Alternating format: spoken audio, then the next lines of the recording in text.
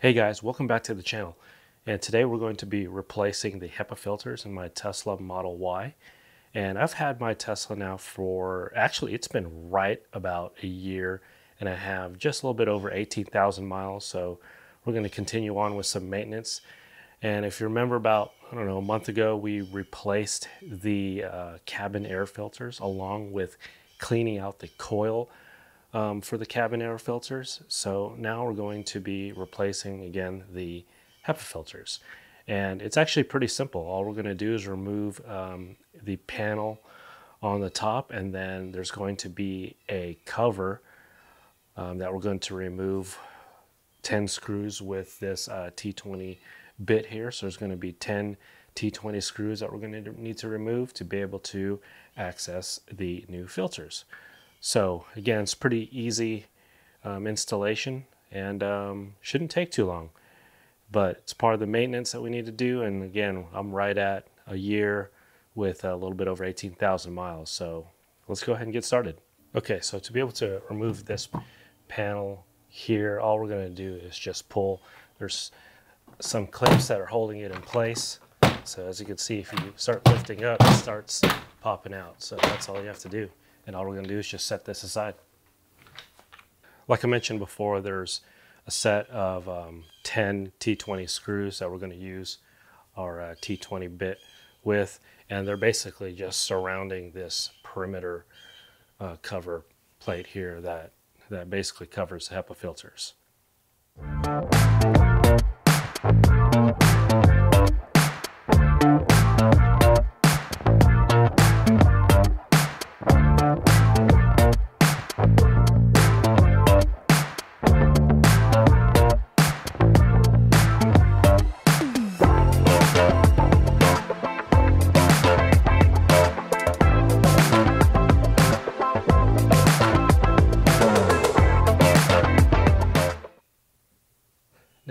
Three screws along the bottom here um, that are slightly difficult to get to, but all you have to do is just pull back on this little um, tub here for the frunk, and then that way you can get your your uh, screwdriver in place here to be able to easily remove this. Now, one thing that I'll point out is um, as you're taking out the T20 screw, make sure you grab a hold of it before you completely remove it because um, you don't want it to fall down into the little frunk area because it'll be a little difficult to get to later on. So we have all 10 screws um, removed. So all we're going to do is just lift this cover out. Just like that. Set this aside.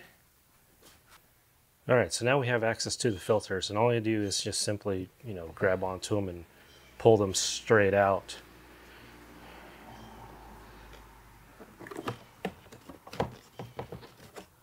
Just like that. So these actually don't look all that bad, quite honestly.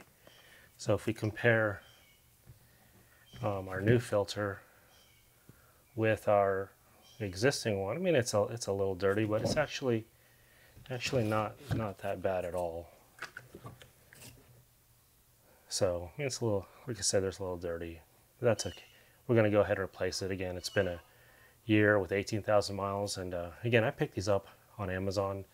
Um, and they're by BASENOR, as you can see, they're pretty much um, nearly identical.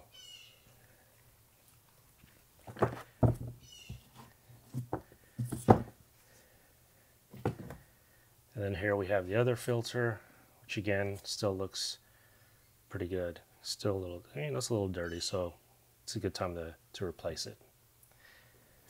Now, one thing to keep in mind, guys, is that on the existing Tesla filter, you'll see this arrow here that it says this side up, but on the BASENOR replacement ones, it doesn't have that. So, but if you look at both sides of them, there's this little white strip here that matches the one in the BASENOR, but on the other side, it doesn't have that.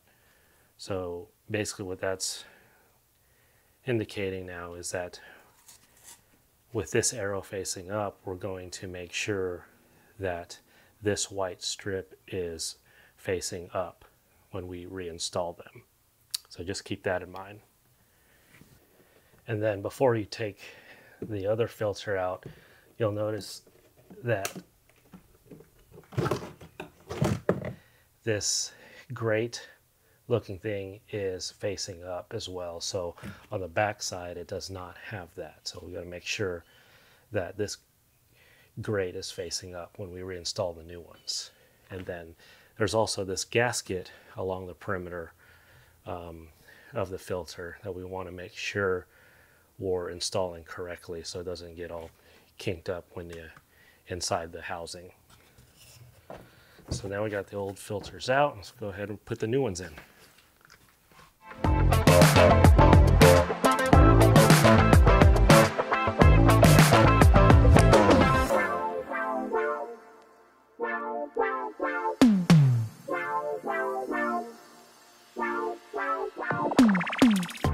Got the filters in. Next, all we're going to do is put the cover back on and then the panel. So just going to slide this over on top, line up the holes, and attach the 10 T20 screws that we removed earlier.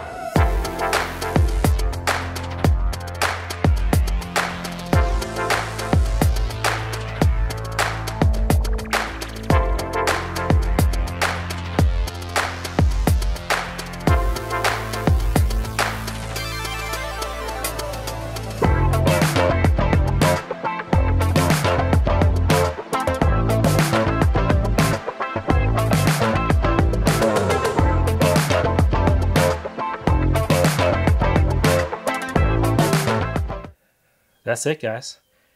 Pretty easy um, replacement of those HEPA filters. Didn't take very long. So really the only tool that you need is that T20 bit and uh, that's about it. Again make sure you check out the video that I had done previously uh, for the cabin air filters and cleaning out the AC coil. So you'll check out that that link that I'll um, set up there in the top right corner. So check that out.